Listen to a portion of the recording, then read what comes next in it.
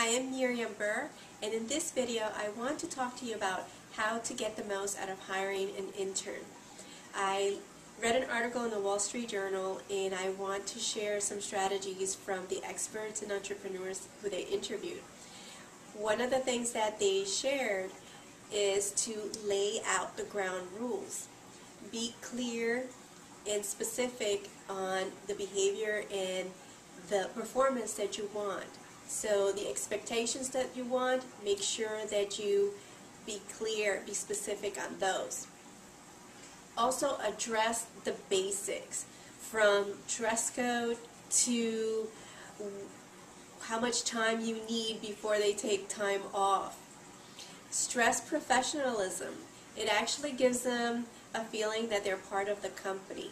You can even give them a desk, computer, a phone, even add their name and photograph to the website and that also kind of gives them a sense of belonging. The second thing that was covered was figuring out the roles. The intern actually has their own expectations and the roles that they want to learn about. And that, the idea of finding out where to place the intern and what the intern should learn and should do, that tends to be the most challenging part of the whole process for a business owner. Sometimes the intern has specific requirements. Perhaps they're doing it because they are earning class credit. So the school actually kind of stipulates what requirements that they need and sometimes they even they even limit the types of tasks such as clerical duties. So that makes it a little bit easier for the business owner. At the same time you want to use the skills that the intern brings. So one of the other things that was mentioned was to kind of keep an eye and figure out what the strengths that this person has and actually put them in actual situations and experiences where you can show them off. Now do keep an eye on them and provide feedback, but at the same time, you know, it's also great to know that that person is bringing something really innovative to the table and you can use it in, in your company. Another thing that was mentioned is if you um, if you know that they are great with research or maybe social media, that is a bonus because now it's becoming a trend that small businesses that are offline are going online and so the use of an intern in that arena can really benefit the business owner. And lastly, be a role model.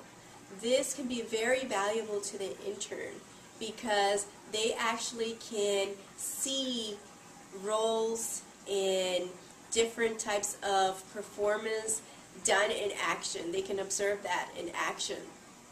So if at all possible, take them to trade shows and have them attend meetings with employees, the staff, or it could be customers, or even outside partners so that they have an idea of the inner goings of the business.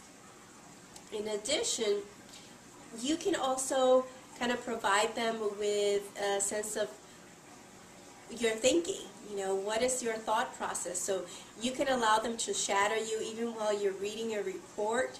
You know, think out loud and kind of let them know what is it that you're looking for in that report because it is a learning experience for that intern.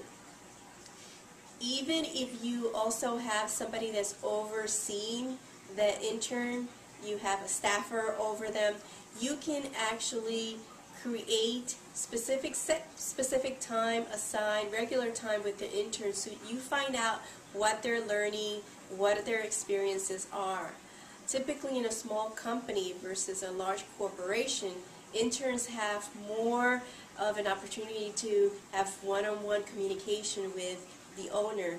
And oftentimes, titles can be very valuable Um, not so much because of, of the name, but because of the mere fact that an emphasis is being placed on that person and they're learning from, you know, the head of the company. And that tends to be very meaningful and lasting experience. So there are three areas that I talked about, several strategies within those areas, um, laying out the ground rules, figuring out what the role for the intern um, could be or should be, and lastly, being a role model for that intern. So with that, I am Miriam Burr, and I will see you in my next video.